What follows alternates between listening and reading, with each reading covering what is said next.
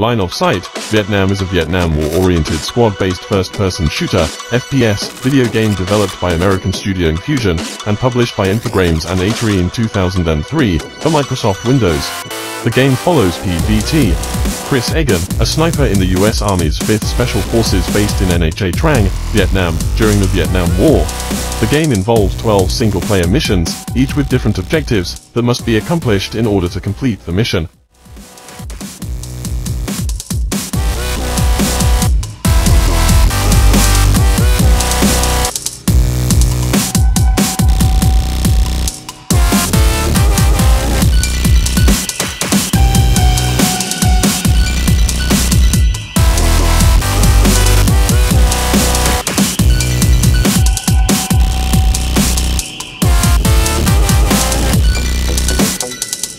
For more game secrets, click on the link below the video.